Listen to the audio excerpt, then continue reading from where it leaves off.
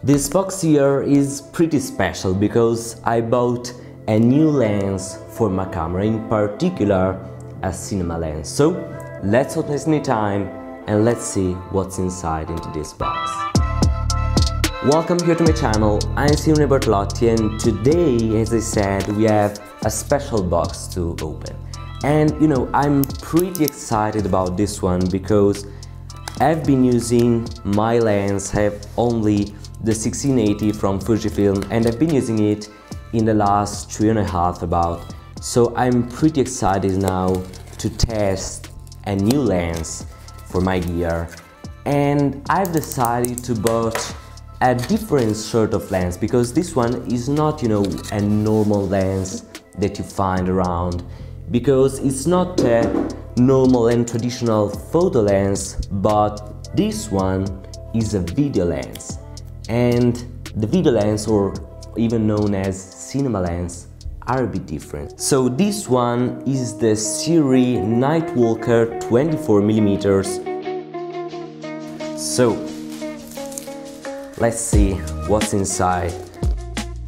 This lens should look great. And so yeah, let's see. So we have here this little strap, pull it away and then here in the box we finally have the lens. Here we go. So this one isn't a review of the lens itself because I'm looking at it for the first time.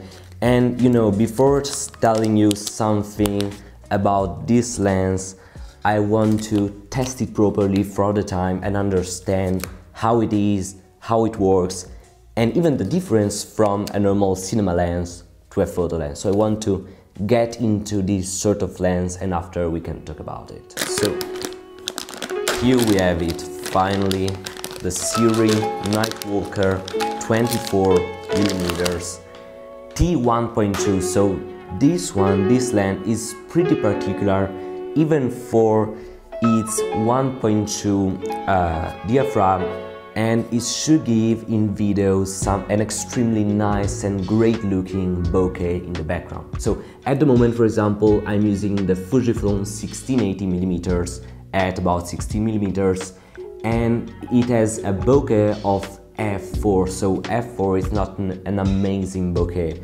but instead with this one with the T1.2 that should be definitely better and even more cinematic because I've read that the bokeh on this type of lenses should be better than the photo lens but as I said I want to test it and see how it is. So now let's open it up for the first time and yeah here we go. So first reactions about this lens.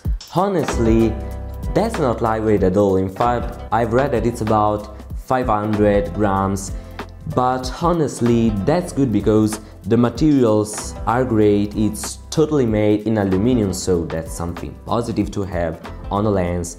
And so the build quality seems to be pretty nice and that's good. And yeah that's a bit big for only a 24 millimeter lens because it's almost as big as my 1680 so which is a lens with a telephoto in it. But you know cinema lenses are different from photo lenses so it's normal that it's bigger it has more weight. And the fact is that usually cinema lenses rather than the normal photo lenses have a better building quality.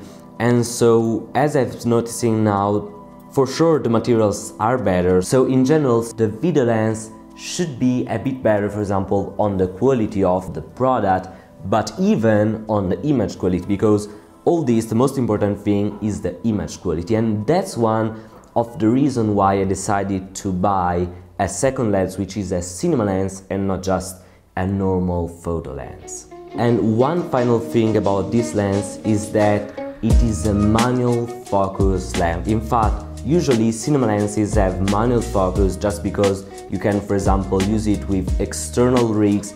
And so yeah that's gonna be a sort of a challenge in my case. But personally I believe that having a manual focus lens for videos in some cases can be even better. But you know I don't want to talk about much manual focus in this video because I've been using autofocus in the last years. So I want to test manual focus and in the end make some videos about this topic because in my opinion that's pretty interesting to talk about.